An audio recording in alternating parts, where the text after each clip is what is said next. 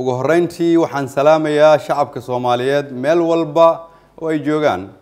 Waxaana alle ka baryayaa inuu noo fududeeyo geedi socodka dowladnimada ee marxaladdan kala guurka. Ah muddooyinkii la soo dhaafay waxaa dalkeenna ka dhacay xaalado aan qaran ahaan noo qaadmin bulsho ahaan noo qalmin oon dhammaanteen ku khasbannahay inaan qayb ka qaadanno xalo helidooda.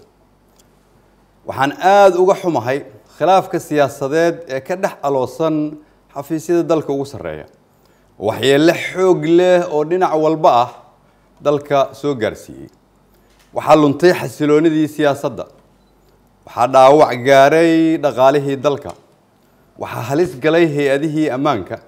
Waxaa sii laciifaya rajadii beesha caalamku ay ka qabtay geedi socodka dowladnimada soomaaliyeed. Sidoo kale wuxuu khilaafku saameyn ku yeeshay habsamo socodka doorashooyinka. Waxaana shaki ku jirin in haddii khilaafka cidi ka macaashtay ay tahay kooxaha argagixisada ah ee ku howlan daadinta dhiigga iyo hoos u dhigidda sharafta soomaaliyeed.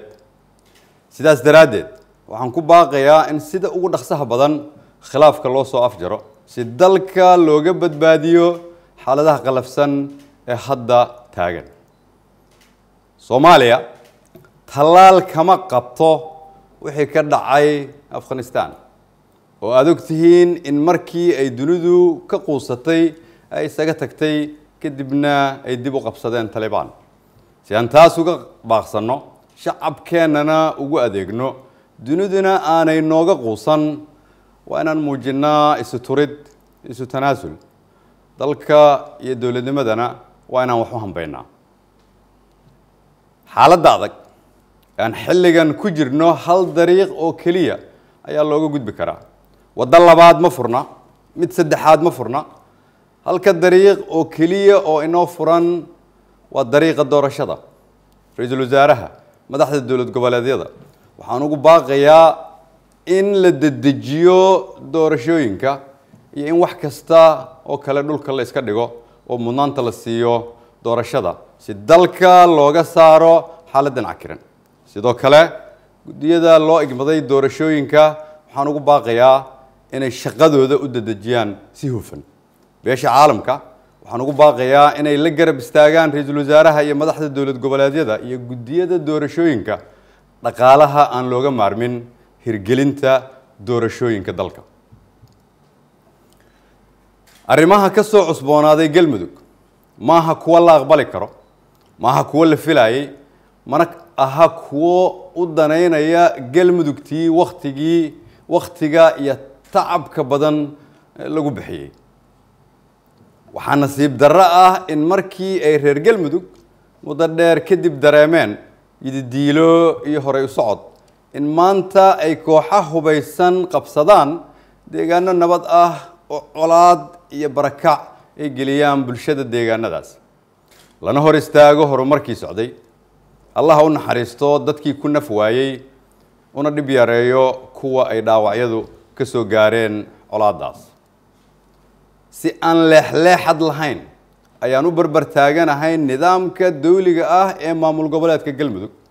Cid kasta oo amniga horumarka iyo nidaamka dawliga ah ee dowlad goboleedka galmudug ka hor timaadana waa in si wada jir ah meel looga soo wada jeesto sidoo kale wararka dhiilada ah ee ka soo yeeraya magaalada laascaanood waa wax aada looga xumaado. Mana aha wax la filayay ficiladaasina waxay liddi ku yihiin islaamnimadeenna dhaqankeenna suuban ee soomaalinimo iyo kan bani aadamnimo intaba.